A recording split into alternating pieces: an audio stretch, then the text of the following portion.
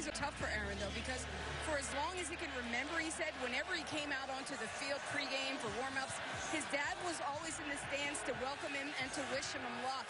So he said he's dedicating this entire season to his dad. And he told me if the Packers can win a Super Bowl, he knows it's somewhere Alvin Sr. will be smiling.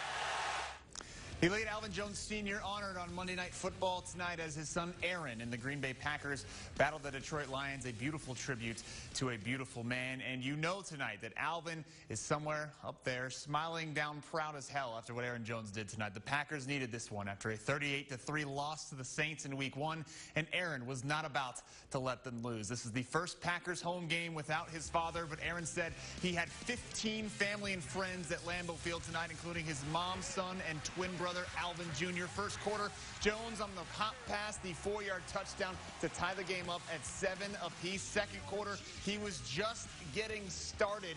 It's going to be a one-yard touchdown pass this time from Aaron Rodgers on second and goal, and he would make a Lambeau leap. We'll get to this later in the show. I believe that's the touchdown that he lost his chain that has his father's ashes in it. He was talking about it on SportsCenter postgame. Again, we'll get to that later in the show. Late in the third quarter, the third touchdown catch of the game for Jones and throws up the 9-1-5 strong 28-17 pack. And in the fourth quarter, he wasn't done. Had three passing or receiving touchdowns. How about a rushing one to cap things off? He ties a career high with four touchdowns. That also ties a Lambeau Field and Monday Night Football record with four touchdowns. The Packers win 35-17. Post-game, here's Jones on his father and his family after a career night.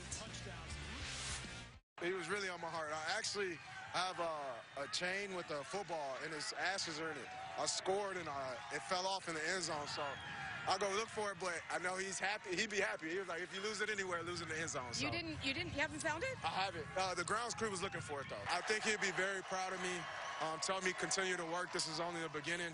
Um, continue to stack success and um, be humble, but be proud. I really appreciate them uh, for being here. Uh, it did a lot for me. Just you know, I'm no, I'm normally used to turning around and seeing my dad in the stands and just smile and know everything's okay. So when I seen them, I was good. Here's the hoping the grounds crew can find Aaron's chain. To me, it is a matter of utmost importance. Right now, we have no word on whether or not they found it. Aaron playing the Lions in the last three last three times he's played the Lions. Seven total touchdowns versus Detroit. The Packers are at the 49ers on Sunday Night Football on KTSM next week. Well, from a